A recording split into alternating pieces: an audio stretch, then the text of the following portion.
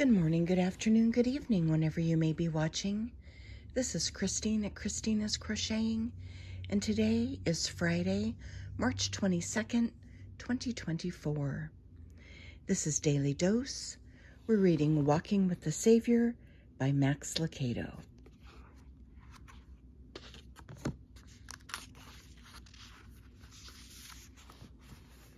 March 22, Fully United in Prayer. When you are praying, if you are angry with someone, forgive him, so that your Father in heaven will also forgive your sins. Mark 11, 25. Isn't it presumptuous to come to the throne of grace if we haven't been gracious to the people in our lives? How can we approach a God of mercy if we ourselves have hearts full of bitterness or anger?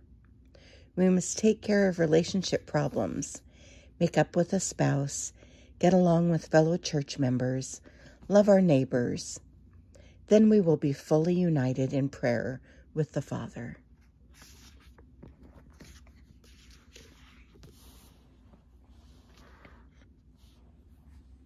Thanks for joining us today. And I hope that you have a wonderful weekend. And I will talk to you tomorrow. Thanks so much.